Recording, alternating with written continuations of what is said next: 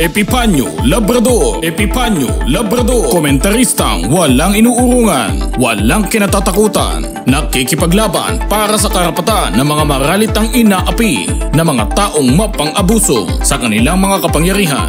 Epipanyo Labrador. Epipanyo Labrador. Ang boses ng taong bayan. Abangan araw-araw ang kanyang pakikipaglaban sa mga politikong korap na umaabuso sa kanilang mga kapangyarihan. Epipanyo Labrador. Epipanyo Labrador Tagapagtanggol ng bayan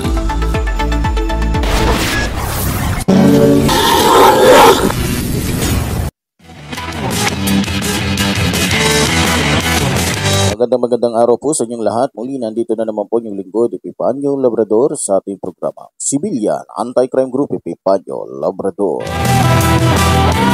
At syempre sa ating papatuloy mga minamahal ko mga kababayan, binabati po natin ang ating mga kapatid Luzon, Visayas, Mindanao na patuloy po na nakasababay at tumututok dito sa ating programa. Maraming maraming salamat po.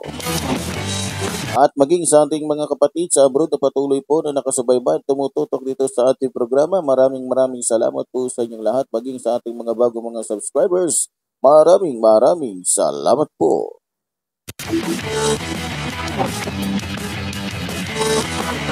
Siyempre, bago ang lahat mga minamahal ko mga kababayan, binabati po natin ang ating mga kapatid, Luzon, Visayas, Mindanao, nakaalib ng ating samahang sibilyan, Anti-Crime Group, Brotherhood, at siyempre sa ating National Vice Supreme Commander, Roldan Dumdum.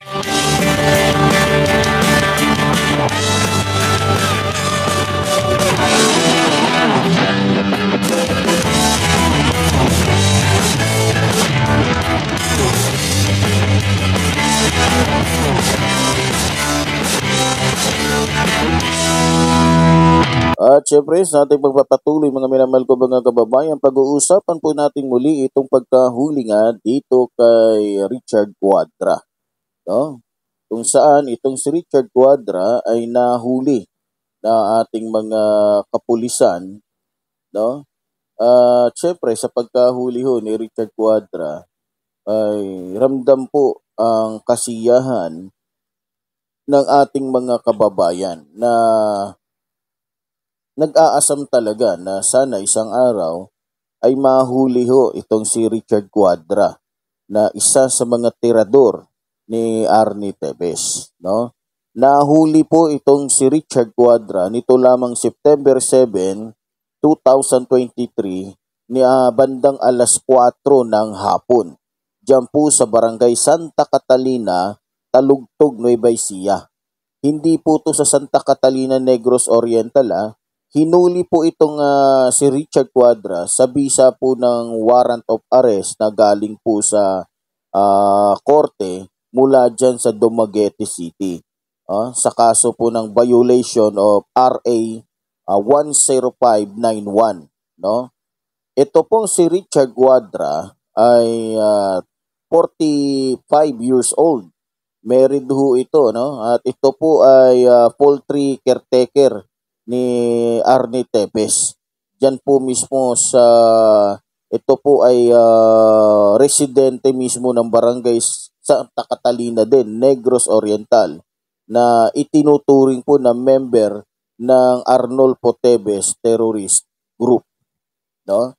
Uh, so dahil ho sa visa ng warrant of arrest ay hinuli ho ito at ilang buwan ho itong pinag-aralan ng ating mga kapulisan kung papaano mahuhuli. Kaya nagbuo po sila ng tracking team no? para mo malaman ho nila kung papaano nila ma, mahuhuli itong si Richard Quadra.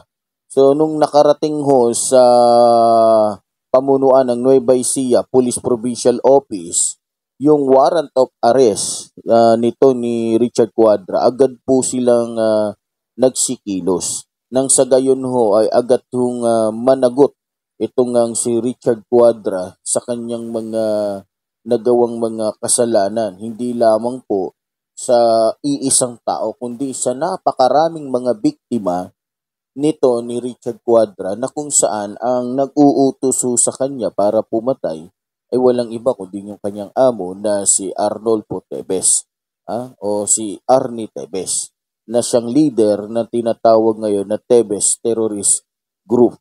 Diba? So, sa mga kababayan natin na taga Negros Oriental ay labis-labis po talaga yung kanilang uh, nadaramang saya sapagkat unti-unti na po na nakukuha nila o natatamasa nila yung uh, hustisya na matagal na nilang gustong makamtan alang-alang po sa kanilang mga pamilya na nakaranas po ng hindi maganda dito kay Arnie Tebes o kay Henry Tebes, mga kababayan.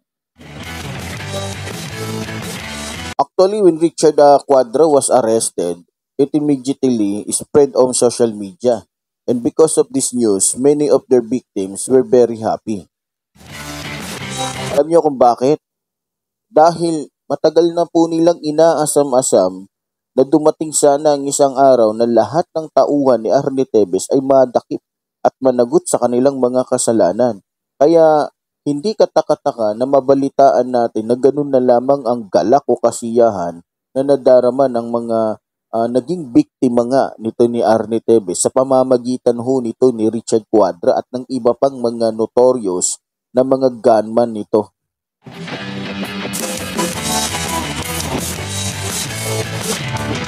At syempre, doon po sa mga taong nakikiisa ho sa mga biktimang ito ni Arnie Tebes sa pamamagitan ho ni Alex Mayagma uh, at maging nito ni Bubong Tanasan, maging nito ni Richard Quadra, syempre, nakikiisa ho tayo sa kanilang galak na nadarama ngayon na kung saan nakikita ho natin na unti-unti na po nakakamtan ng ating mga kababayan dyan sa Negros Oriental ang katarungan na matagal na po nating uh, hinihingi sa ating gobyerno. The news just came in today that according to the intelligence report found by our DOJ Secretary Rimulya, it has been determined where Arne Tebes is.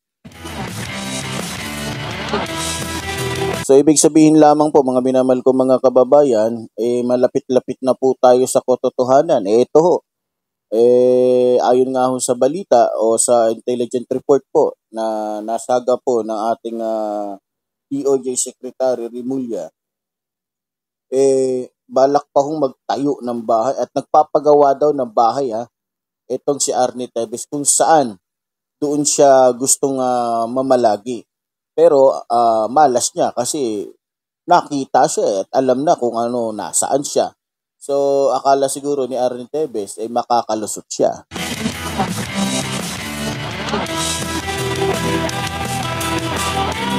So, hintayin na lamang po natin kung ano po ang magiging galaw ng ating mga kooperatiba. Lalong-lalo na po yung ating uh, Interpol, yung ating uh, International Police. Eh, sana ho, ay sa lalong madaling panahon, ay makipag-coordinate na po kayo kung saan po yung sinasabi nyo na yan na area na kung saan ay gustong mamalagi nito ni Arnie Tevez para takasan yung kanyang napakaraming kaso dito sa Pilipinas. Anyway, let's just rely on what our government can do to end this matter about the Gamo massacre and everyone who is guilty will be held accountable. At syempre po, pagka nadakip na ito, syempre magkakaroon na po ng kapanatagan ng ating mga kababayan dyan sa Negros Oriental. Eh alam naman nating lahat sa loob po ng ilang taon na kung saan eh, halos lahat po ng mga kababayan natin dyan ay eh, nagkaroon po ng trauma dahil nga po sa mga nagaganap dyan na patayan dahil po sa politika at dahil, dahil sa magkapatid na ito. At uh, syempre, pag sila po ay nanagot na at syempre wala na sila dyan sa Negros Oriental, magkakaroon na po ng kapayapaang katahimikan, katiwasayan at syempre magkakaroon na po ng pag-asa yung ating mga kababayan dyan na biktima po nitong magkakapatid na Arnie Tebes. At isa po sa dapat nating ipanalangin ano, na sana ho ay umamin ho itong si Richard Quadra sa ating mga investigador. At sana ay ilahad niya ang lahat ng katotohanan, maging mga nalalaman niya tungkol dito kay Arnie Tebes. Kasi sa totoo lang, maaari hong mailagay sa star witness itong si Richard Quadra kung aaminin niya lahat-lahat. At malay nyo, sa kanya po natin makuha yung uh, magandang uh, sagot tungkol ho dito sa ilang mga suspect na di umano ay tumatanggi na sila ay hindi mga tao ni Arnie Tebes. At sa pamamagitan ho nito ni Richard Quadra ay malamang ho ay ma marami tayong malalaman sa kanya na iba pa na mga illegal na gawain nito ni Arnie Tebes at ni Henry Tebes na hindi natin nalalaman. Eh kasi nga, ayon nga sa ating mga kababayan, itong si Richard Quadra ang isa sa pinagka, pinagkakatiwalaan ni Arnie Tebes at ni Henry Tebes. Ngayon, front lamang po nitong uh, mga hitman ni Arnie Tebes ang pagiging uh, poultry caretaker. Eh kasi sa totoo lang, yung poultry po na yan, yan po yung nagiging taguan. Nagiging hideout to ng mga kriminal ni na tao ni Arnie Tebes at ni Henry Tebes. Kaya sana ho ano, abangan ho natin kung ano po ang magiging resulta ng investigasyon patungkol po dito kay uh, Richard Quadra. At sana ho ay marami siyang masabi na makakatulong po sa paglutas no at pagbibigay linaw sa kaso ho ng mga patayan na nangyari diyan sa Negros Oriental noon pa man. No, kasi simula ng si Arnie Tebes at si Her, uh, Henry Tebes ang naging uh, uh, gobernador, uh, naging mayor, naging congressman, ay itong magkakapatid na to ay talagang nagkaroon po ng issue dyan at naging talamak at naging halos naging common na lang sa mga tao dyan yung patayan dahil nga sa politika. Oh? Dahil nandiyan dyan yung magkapatid na yan na kung saan nagtatago sila sa kanilang pagiging uh, politiko. Nagtatago sila sa kanilang pagiging mayaman na tao.